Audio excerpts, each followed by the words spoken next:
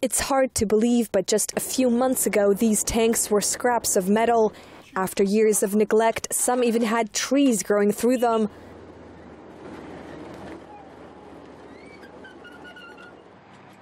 But now, after weeks of hard work by Ukrainian mechanics, several of the T 72 have been reassembled, refurbished, and made ready for combat.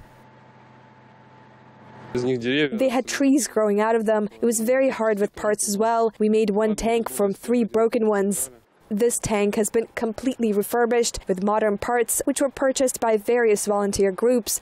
It was put together by a team of mechanics, which was led by a veteran who operated T 72 tanks during the Soviet Afghan War. He says, the mechanics would get upset with me because I would yell at them when they were working on these tanks. Nobody thought that we could do it, but we did it, and now they're ready for battle.